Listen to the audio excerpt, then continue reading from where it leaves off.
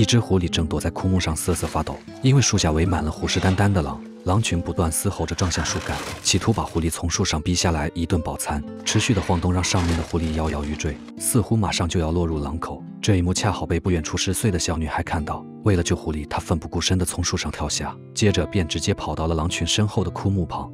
女孩快速翻找书包，希望能找到可用的东西。然而书包里仅有一段绳子、一把小刀和一袋面包。犹豫再三，她决定放手一搏，掏出袋子里的面包之后，用嘴巴把面包袋吹了起来。接着便悄悄地来到狼群的身后，还没等发现他的狼群反应过来，女孩用力拍爆了手里的面包袋，爆炸声瞬间吸引了所有狼的注意，他们纷纷一脸凶狠地朝女孩走来。树干上的狐狸则趁机逃出升天，此刻只留下小女孩与狼群对峙。危急关头，女孩急中生智，大喊着奔向狼群。